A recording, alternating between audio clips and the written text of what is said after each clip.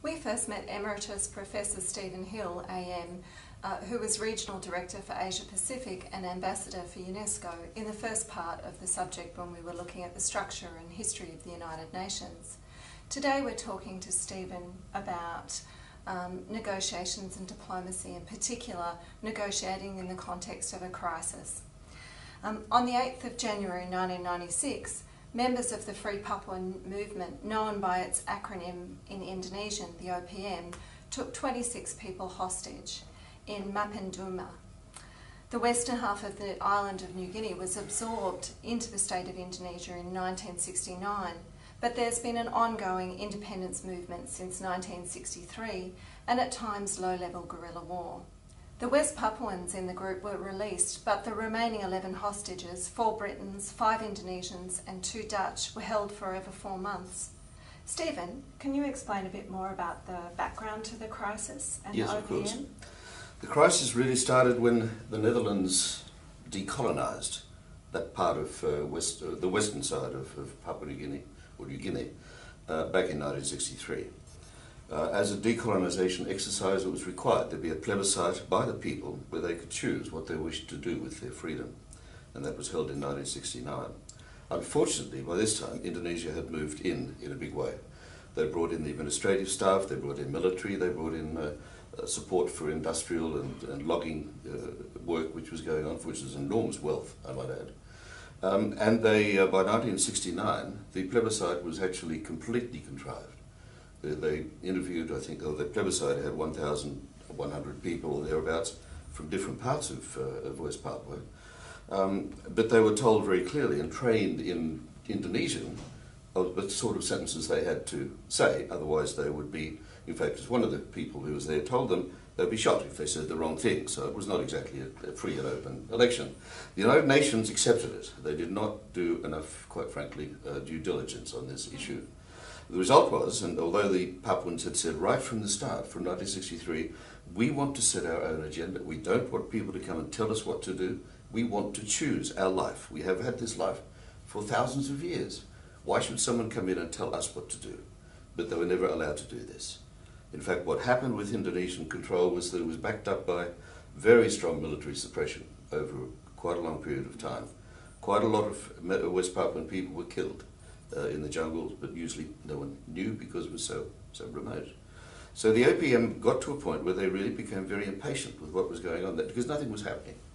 They did take hostages previously, uh, but always Indonesians, not, not overseas hostages. Mm-hmm. In this case, they had the idea of what they called capturing white noses, in other words, people from overseas, uh, on the basis that they'll be, get more attention internationally. Mm-hmm. Uh, with international attention, uh, it meant they felt their cause would be justified further. And also, most importantly, at least the leaders believed this would be a path for actually bargaining for independence with both the United Nations and other communities, which unfortunately it could not have been in terms of normal international politics and so on. So it was a terrible tension between a demand which could not be met uh, and a people that were desperately repressed and seeking to find a way out of the situation. Now, what then happened is that um, on that date which you mentioned, the 8th of, of January, uh, 200 tribespeople invaded the village of Mapenduma, which was where they captured the, the hostages. Prior to that, a group had come in from Cambridge University, four students from Cambridge University, who quite frankly had no idea what, whatsoever about how to, how to work in a community such as the West Papuans. We they actually we talked with them before they went, as did WWF, the World Wild, Wildlife Fund for Nature, uh, pointing out in particular they should not take Javanese people with them, because in the in the jungles of West Papua, the Javanese were associated with the military, the military, the people who killed them. So Javanese were always at risk, no matter what happened. Secondly, they didn't pay attention to the to the normal law and culture of the people. So, for example, um, they would um, uh, walk across people's fields without asking permission. They took from the land samples, only samples, but the point is they took. And as one of the rebel leaders said, they come like the miners. They come here to take, not to give us anything. And they came in to the Mapenduma in two planes with one ton of equipment. Okay? The people have nothing but a string bag on their head or alternatively a penis sheath, which the men wear, uh, as both ceremonial as well as work occasions, uh, and nothing, nothing else basically at all. So this was a tremendous contrast. They, they didn't directly invite attack, but they certainly exposed themselves very badly to this. Uh, then our people were people from the United Nations with, again, people, we're working in very close association with the World Life, World Life Fund for Nature. Uh, because the, the area where the hostages were, which is called the Lorentz National Park, uh, is an extraordinary national park. It goes quite literally from tropical glaciers, which is only two, I think, in the world, wow. All the way through the land to the ocean with every conceivable possible uh, landscape and ecology in between. And it's an extraordinary place which we were helping the government to put, put forward as a World Heritage Site, which did finally happen. The job of the woman from our office, Marta, uh, was to monitor Lorentz National Park. And the person, one of the people she travelled with, Mark, uh, was her partner. And he worked both for me as well as for WWF. What happened was that they unfortunately took the trek for eight days into the town of Mapenduma, and they were there, unfortunately, on the day when, they were, when the other people were attacked. And as the other people said, look, we, we understand that you are here, and we, had been working with them for quite some time, mm -hmm. the, the, West Papuan people, um, and in the jungles, in the places where these where the, the capture was, was happening. Um, and, one of the, and one of the hostage leaders said, uh, we understand that you are here to help us and so on, but this is a gift from Jesus Christ, we will take you. And they took them as hostages. Many of the West Papuans were released fairly quickly, as a matter of fact, so it did leave it with the core group of um, some uh, Javanese who were there uh, accompanying the, the, Cambridge group from the Biological Sciences Club in Jakarta. Uh, the, the Cambridge group of four and our own group, which was three people. There was another person from WWF who walked in with them. They were then taken off into the jungle and a tremendous saga followed from there for 128 days before we were able to get them released two people were murdered at the time they were released. But I can come to that story shortly. Thank you.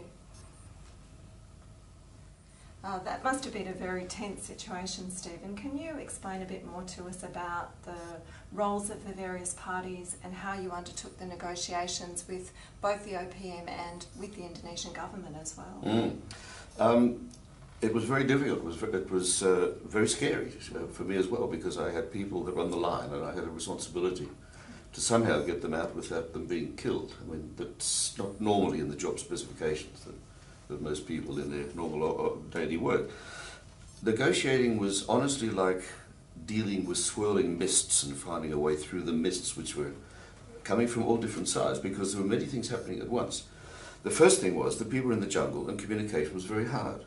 At one stage, for example, uh, we had developed in the very early stage what we call sheds, which were schedules where they communicate with the rebels at a certain time every day. Um, and then suddenly they stopped. And we thought, ah, they're playing hardball, they're stopping talking to us, they, they, they went, and it turned out it was totally wrong. In fact, the man who had the radio had been told by a priest that the military might attack, so he had headed off into the jungle with the radio in the opposite direction to the rebels. So we, the rebels were lost, as far as we were concerned.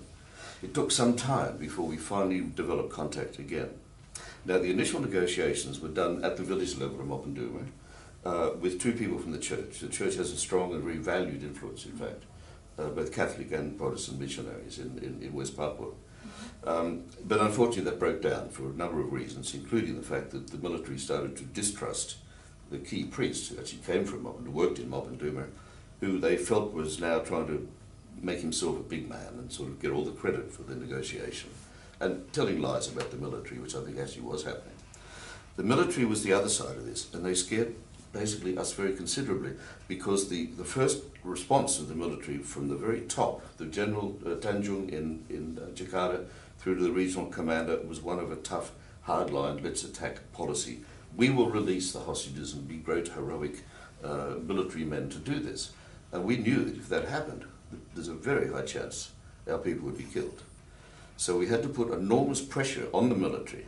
And we did this. I mean, I did this personally as well as so did others, uh, the, uh, particularly the, the, embassies from which the countries, uh, the people came from, from overseas. That was England, uh, UK, I should say, uh, Germany, and uh, the Netherlands. Those, those, three countries were involved as well at the deputy ambassador level in, in the negotiations. Um, but what we needed to do was to try and stop the military, to, to put enough pressure on the, on, the, on, the, on the government and the military to actually prevent this happening. Now, them attacking, basically. Fortunately, uh, they appointed a man called Prabowo Subianto, who happened to be the son-in-law of the president, which helped his status uh, somewhat considerably, who was trained in the United States and basically was a professional military man who ran the, the, the special forces of, of Indonesia. And he, he did take a, very, a very good line of um, trying to hold back his own military, of allowing the negotiations to go forward and seeking to foster those negotiations. But still, there was always a tension because inside the military, other forces, for example, were trying to white ant his position because they wanted to attack. And so he was always this tension, either within the military itself, and our concern particularly was that the, hold the military back more than it was anything else. So we had a negotiating team which was uh, consisted of uh, the people who's from each of the embassies. Uh, the military, of course, was involved in, in the team. Mm-hmm. Um, but so too was myself as representing the United Nations in, in, the, in the responsibility, uh, and in particular the International Red Cross. The reason was that we, as a country or as the United Nations, were not able to negotiate directly with the rebels because it's a political situation which is regarded as, as the issue of the internal state, and therefore you can't interfere, as it were, from outside. And the International Red Cross were accepted by both the rebels and ourselves as being a mediator in this case. And, and they played a very important role. Now, the first thing they had to do was to seek to establish um, uh, some contact with the rebels. And so, what they did, because again, we didn't know where they were, was to drop people in key villages down a corridor where we thought they probably were going mm-hmm. And, and leave messages to say, you know, contact us, this is what we're after, and, and so on. And after a while, that actually worked. We did finally establish contact mm-hmm. with them. Uh, and then the next stage of negotiation started. Now, meantime, uh, we were bedeviled ourselves by another part of the negotiation. I believed very early, for example, that if we put pressure on the rebels through uh, international uh, support from the highest leaders in the world to say hostages are a bad thing, really this is not good, you, you'll lose your credibility if we keep them. And that was fine. And one night, one whole night, literally from dusk till dawn, with the head of the United Nations Development Programme. The two of us sat down with a fax machine and many cups of coffee. Uh, we organised by morning to get a letter from the, uh, the, the, Secretary General of the United Nations, the Director General of UNESCO, the Archbishop of Canterbury, and the Pope. And we figured that the letters from the Pope and the Archbishop would be, the, would be our best shot because the people had, for example, the, the leader, the guy who'd actually made this choice of, of, of capturing the rebels, uh, had studied as a seminarian, in fact, with the bishop who was coming from in from Wamena, the, the, the, closest town. So we thought this is going to work. It didn't. And the reason is, for example, when uh, the bishop actually came in to read the letter personally to, to this guy, Kwalik, and uh, he thought about it very carefully, and then at the end of, end of the, the, the reading, he said, he doesn't talk at all about us, about the West Papuan. He just simply presents this this requirement from the outside world without any attention to us, it is worthless to us, okay? Mm. And the other letter from the Archbishop of Canterbury was treated in a very interesting way by the deputy uh, head of the, of the group, uh, who said, I have here in this hand this letter. And in this hand I have these hostages. This is so much lighter. And he threw it away. Again, the same message about culture, which was important. And it was then critical what happened when we finally established real contact with the rebels when uh, a man called Frank Meyer from the International Red Cross finally was taken to see the rebels directly in, in personal contact. He was taken from his helicopter 100 metres, uh, no, about 300 metres, to a cliff uh, with about a 100 metre drop and perched on the edge, surrounded by 200 tribesmen dressed in spears, uh, sorry, dressed in paint and bones and spears and bows and arrows and about four or five guns, old, old guns actually um, but pretty terrifying and intended to be that way. And the guy who came to see him was number three in the hierarchy, a man called Titus, uh, Spears, I'm sorry. And he looked at, at uh, Frank for probably about two minutes and then said, What do you want me to wear? A t shirt or a penis sheath, which is the natural, or koteka, which is the, the, the dress of, of uh, men in, in the tribal society. And Frank thought for a minute, he said, That is your choice whether you wish to, work, to uh, work as a, be a traditional person and wear traditional clothes, or Western clothes is your choice, not mine. But I have three T-shirts I could give you if you were cold. Okay. Now those were the two key cultural values. One was accepting that the people had the voice, and the second was the giving of gifts as opposed to taking. So two or three, uh, two times later, when he finally got to the the, the, the head of the group that actually captured the rebel, uh, captured the hostages, a guy called uh, Daniel, um, he, uh, the first thing that Daniel said to him was, "What did you come here to take? The hostages?" And uh, Frank said, "No, I didn't come to take the hostages. I came to give you these." And he had gifts and food and things which would help the hostages and so on. And when you choose, you will give me the hostages. Okay? Again, the same pattern of culture. And each time he got a further step upwards in the negotiations. It took a long time, backwards and forwards, and fights between the. I mean, even some of the other tribes, for example, uh, were absolutely against taking of hostages. They said this is not our way.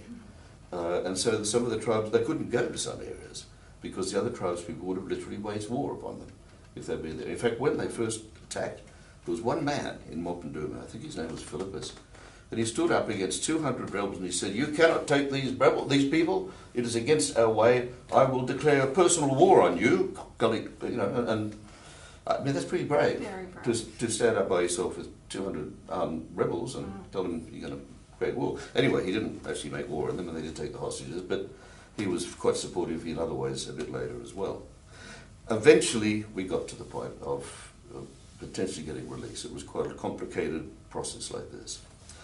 Um, Um, Stephen, despite getting to that point, in the end, the um, Indonesian special forces did come in Yes, and they did. were, re- hostages were released through Yes. force. Why did the negotiations break down and uh, Well, what uh, happened there? In fact, the negotiations didn't break down. We had organised with the, the rebel movement, with all acceptances along the line, to have a handover ceremony with a feast, which was going to be conducted close to where the, where, where the hostages were actually being kept.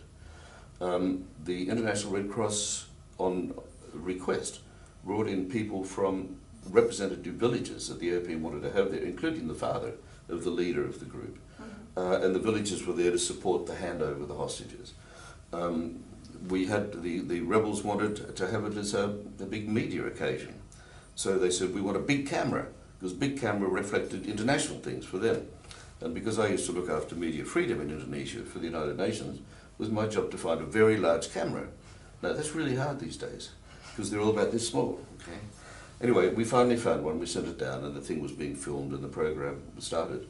And everything was going well, and then the leader, Kelly Kwalik, came into the, to the meeting. He had a, a hat on made from possum skin, uh, and he spoke in Indonesian, not, in, not in the local dialect. And that meant that most of the people who were there, the, the partners, couldn't understand him. And the, the, the hostages, they, most of them could understand some Indonesian, of course, um, but they weren't listening because they thought, oh, we're about to be free, you know. And they suddenly realised that what, what Kwalik had said is, I will not release the rebels until West Papua is declared a free and independent state. And that just broke everything apart, and all the negotiations, there was nowhere else to go in negotiation. So the International Red Cross had no choice but to pull out, because they were told to go, and the hostages were taken off into the jungle by the rebels. The leader, this guy Kelly Kwalik, he immediately took off in the jungle in the opposite direction, and he left the people with the hostages that were there. All the gardens were occupied by the military or had been destroyed to say that to, to, to stop any food supply being available. The, um, so for five days they didn't eat. They'd been taken through the jungle, they couldn't eat. Uh, Marta, I forgot to mention, uh, my staff member was pregnant. She, decided, she discovered this just before they went into the jungle, and part of the reason for the trip was to work out their relationship, and then they get captured and taken off by the rebel movement, which they didn't really expect. She even got malaria because they took them from the highland where there was no malaria down into the lowlands they didn't expect to go. So we had a lot of main problems with all of that.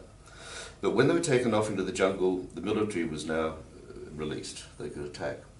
There was a rumour, not a rumour, it was a fact, I should say, that a helicopter which was white, which appeared to be imitating the Red Cross, came in and eight people in the village were killed by military people. We know that. Um, but meanwhile, the military took a while to try and find the hostages. They were even using drone air, aircraft as well. Uh, we had, they kept saying they didn't, but it was actually something which we, we could source from Singapore. We knew what it was. And one of the one of the hostages talked about as being like a toy plane that just went over the top. They're using this with infrared sensors to try and identify uh, where the people were in the jungle. Okay. Finally, um, they did come into confrontation with the military, but it was an amateur unit, not the S, not the special forces, and they were scared in the jungle. They literally was had sta- uh, sitting behind a rock, um, not, and they were not prepared to come out. Where one of the young women, about 100 metres away, was staggering down the river, having just injured her ankle quite seriously. They wouldn't come out to help her. Okay? That was their own forces. That was yeah. That, well, this was the yeah the, the, the, force which was just a regional force and not, Yep. not the not the special force. Right. And what happened in the middle of all this was that um, at this stage, two of the Indonesian hostages, uh, the Javanese, were, were murdered by by the rebel movement. But we believe uh, not by people who travelled with them. They were people we understand and we think. And I had a photograph of one of these people who'd come in from outside to the to the ceremony, and they were the, the people that killed these these two people. Um, afterwards, uh, then finally that night, the what I call more amateur group of the military looked after them in the jungle, but very badly. They they couldn't build tents properly. They the battery run out on their communication devices, and they were scared to go to the jungle to bring the bodies out and so on. Next day, the SA, the special forces came, and they were very professional. And finally, finally, we got them we got them out. Um, but it was a terrifying period, this last period, as you could well imagine. Uh, and they went through extraordinary trauma before they were finally finally released. Mhm. And it really was because um, ultimately, ultimately because I think the leader had become what in the culture would be called a big man, Mm. And he was now a big man on an international stage. And I suspect he didn't want to put it down, quite frankly. Uh, but he, he betrayed in many ways his own people in, in doing this. But it, which is very sad because the OPM did have a genuine cause, but this certainly was not the way to, to actually make it happen. But it did start quite a lot of uh, attention from the international uh, community and press to the issues of West Papua. That did happen. And secondly, it opened up opportunities for us as a development assistant agency to work much more closely with the people as well. So on that, I know that you continued your involvement in West Papua, and um, particularly there was a drought not long after the hostage crisis, and there was some, some interesting responses there. I wondered if you'd tell us a little bit more about that. There's sort of like a progression of things. The first thing we did was to respond to the crisis. because in Papuan society, pigs are really important. They're the basis for giving in bride prices, they're for exchange, and at ceremonies, men or the big men give the pigs uh, as a feast, Mhm. and their status comes from giving, not from possessing. Okay, uh, but all the pigs have been killed because the military and the people and the rebels and everybody had killed them, and they had no pigs left. And the result of this was that they were in a society where their basic social capital was missing. So I said, right, well, along with the head of WWF, we will replace the pigs at Mapenduma. I then flew 108 pigs to the people of Mapenduma. And on an exercise, I finally called in the uh, uh, United Nations uh, Operasi Turupang Babi, which means the flying pigs operation, which I thought was uh, quite interesting. But uh, when it was presented to the world in the general conference, nobody asked me any questions, which I thought was even more interesting.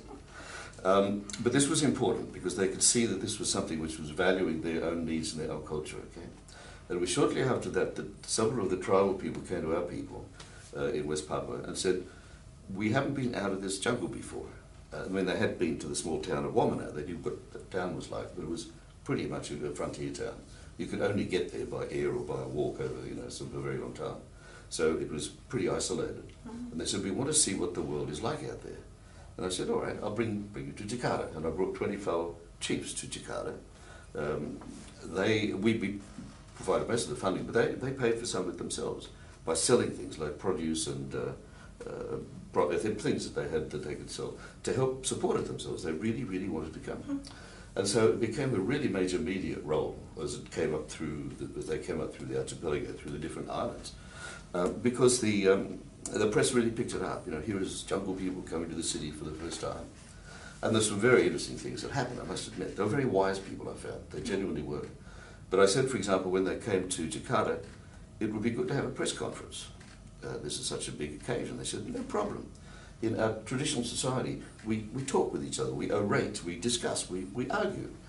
We can do a press conference. So they all came to the, the United Nations building where I had this being held, and they said, we would like to dress formally for this to honour the occasion. And I said, fine, I've had my suit and tie. Then they took all their clothes off. and put on the beads and you know the, the bones and all the other bits and pieces. They would paint, and that was how the how we had our press conference, which was unusual compared to the other ones which I had run at other times. And then one of the people, is the, the secretary of Suharto, as a matter of fact, took them out to a restaurant, the first restaurant they'd ever been to, let alone being in a city, let alone anything else. It was a teppanyaki Japanese restaurant, okay, with the people throwing eggs at each other and sort of throwing things in the air, and they're literally transfixed this extraordinary example of what city culture was like. So I, I dread to think what happened when they went home. I suspect, I, I, I, this is not true, of course, but I, I suspect that I had suspected that now the pig ceremonies they're flying their catches and all this. I don't think so, but anyway. But they had these, but they really learned something from this, and they wanted to keep going. And they all met President Suharto, who personally came out to meet every one of them. Okay, but it got to that level of uh, now that again signified a, a, much closer attention to what was happening in the mm. province. Mm. And then we found it was only a year or so later that the, when the drought hit, it was really causing terrible troubles for a lot of people. And sometimes the problem was that water was there, but they couldn't get at it. It was either down a deep ravine or it was in some place that was that needed to build some capacity to bring out the to bring the water up to them. So we followed that program, and we got um, we basically brought in pumps and pipes and other things, and depending on different uh, requirements and amount of lift that was required. Sometimes there were diesel pumps, and sometimes there were hand pumps, and sometimes they. But we also brought in uh, by this time, we'd also created two culture centres because we wanted to recapture the traditional crafts which were actually disappearing. Like even making stone axes was starting to disappear as a craft. And so we brought this group together and they, they made sculptures and other things. But we used that centre to also train the people from the villages in, in building a storage capacity for the water, building barrels. So we brought people down from Jakarta to help them build the, build the, uh, the, the, barrels themselves so they could also store the water. And the final thing, which was the, the problem we had, really problem we had, was that once we, we had, uh, I was doing this in cooperation with the government of Denmark, who were very, very good. Um, but they had the responsibility to provide the big pumps to come into the country. The design criterion, of course, was they had to be able to be carried by a man for eight days through the jungle. Okay, and unfortunately, they forgot to notice this. It was in sort of the slip, slip their attention. And I had pumps which literally could be lifted by a forklift truck certainly not by an individual, because they'd welded all the bits together, so we had to pull those apart. Meantime, with, with the man, uh, the NGO, which was in Wamena, who we'd hired to uh, to contract the labourers and uh, the people who were going to do the carriers, I mean, take them into the take the stuff into the jungle. He had a hundred uh, of these guys sitting in the culture yard, of, the yard of the Culture Institute, which we'd set up, mm-hmm. every day eating food, taking away his profits. And finally, he said, "I'm going to take these into the jungle." Didn't tell us but set them off into the jungle with the pipes and the cement. So I found myself with not a single one person left and all the pumps sitting on the ground in Wamena, which wasn't helpful. So we, we put a lot of energy into actually sending down the hydrology people and sending down the cultural people that were working with them. And we finally fixed the problem. But one of the key lessons from that was really important is, even though it was not our responsibility, by putting real energy into making it happen, it built enormous trust with the government that was supporting us. And from after that, anything we did, basically, we got support from that government with very minimal uh, opposition because they trusted the fact we would work hard to make things happen. And that's important, I think, in any development assistance program. Fantastic. Stephen, thank you so much for your time today. And uh, if you're interested in learning more about Stephen's experiences, he has actually written a book on it called Merdeka Freedom Jungle Hostages and Flying Pigs. Thank you. Thank you.